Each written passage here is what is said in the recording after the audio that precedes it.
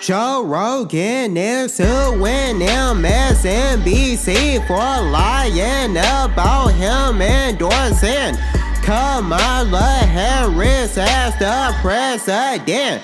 She's the vice president of Joe Biden, but she's going to run for president.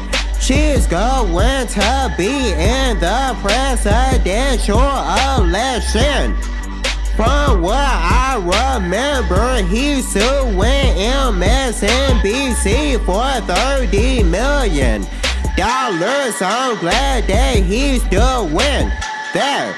They shouldn't have been spreading misinformation about it on their shorts and making it seem like Joe was just supporting her. He was talking about why people would think that she's a good president. He wasn't giving her his complete endorsement. That wasn't happening. You can't always trust media outlets and politicians.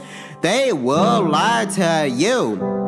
It was the same way with JD Vance lying about Tim Walz not wanting to go to war with Iraq for his country.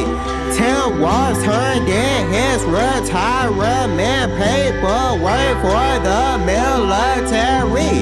In offense before he knew about a potential deployment to Iraq. Give him a break. He was in the military for a long time.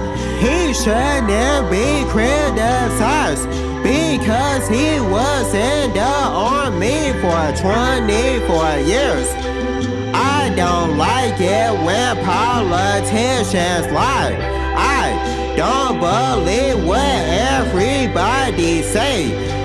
Glad that I checked the information about him was military service. I don't like it when people spread propaganda. You can't always believe what you hear from the media.